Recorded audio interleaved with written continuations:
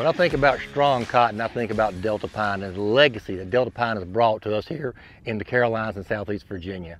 Uh, over 110 years of breeding and bringing great varieties to us over here. I'm really proud to say that Deltapine continues to raise the bar for us here for our cotton growers. You know, with 1646, that bar was set pretty high the last several years.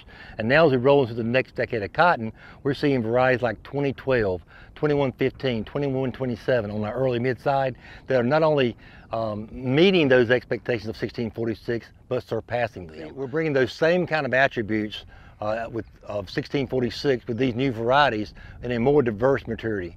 So we've got 2012, which is a great, outstanding early season variety with great vigor, um, a fast fruiting variety that has very good versatility across a lot of soils, excels in the best dirt, but it also has strong terminal growth and allows that variety to handle stress.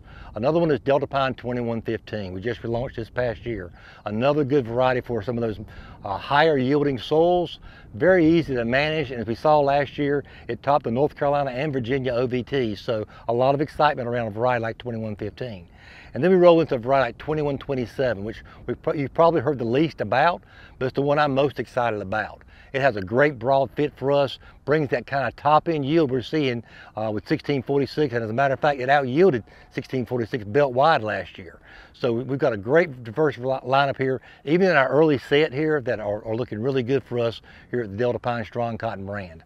Um, so if you have more questions on any of our Deltapine varieties, you can contact myself, your local FSR, or reach out to us on Facebook and, and Instagram.